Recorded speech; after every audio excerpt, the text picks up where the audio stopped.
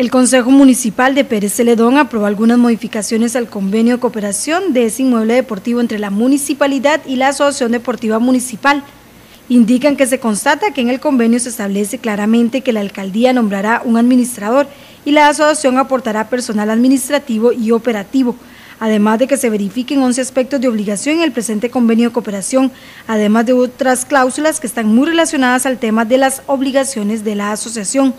Sumado a ello que la utilización de las instalaciones del inmueble por parte de la municipalidad queda establecida como las actividades de carácter oficial organizadas por el municipio y que deban realizarse en las instalaciones del bien inmueble y tendrán prioridad ante cualquier otra, pero siempre y cuando no afecten la calendarización de partidos oficiales que tenga previamente señalados el equipo de fútbol o cualquier otro compromiso adquirido con anticipación que tenga la asociación deportiva sin embargo, el regidor Juan Durán dijo que hay algunos puntos pendientes, como por ejemplo, que anteriormente el convenio establecía que únicamente lo podía utilizar el municipal de Pérez Celedón, lo cual se tiene que revisar. Resulta ser que si hay un aspecto que sí, por alguna razón se, se obvió, se fue por, por otra, para decirlo de, por otra vía, y este, resulta que dice eh, ese convenio que el estadio va a ser eh, usado únicamente por el municipal Pérez Celedón. Estamos bien, la prioridad es el Pérez Celedón, pero también debemos de hacer espacio para que otras ligas, eh, llamemos femeninas, ligas menores, eh, imaginémonos que la Espuma puede ser otro equipo que tenga acceso en algún momento para el uso del estadio, como lo deben hacer los demás equipos, que en caso de que tengamos más equipos en primera edición, imaginemos que volvamos al año que viene a tener dos equipos en primera división.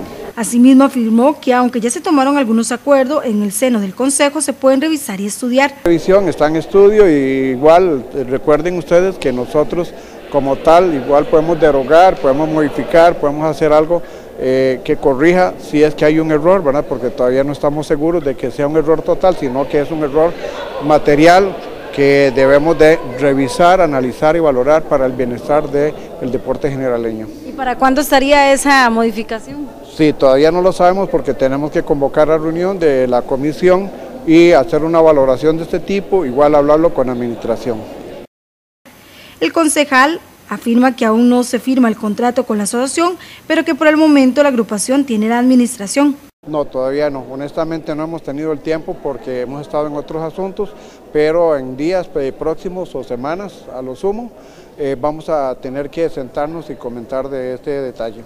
Sí, porque ya era más bien hora de que se hubiese firmado ese convenio de uso. Entonces, ¿cómo el Pérez está con cómo está el Pérez entonces con la administración del estadio en este momento? Sí, tenemos que revisarla definitivamente, eso sí estamos claros. Eh, ahorita hay que ver unos detallitos, repito, sobre todo con la administración municipal, que son los que tienen en sus manos como tal eh, legalmente establecido, eh, la administración del estadio municipal, que la pueden ceder en parte o en su totalidad, es un asunto que sí tenemos que verlo.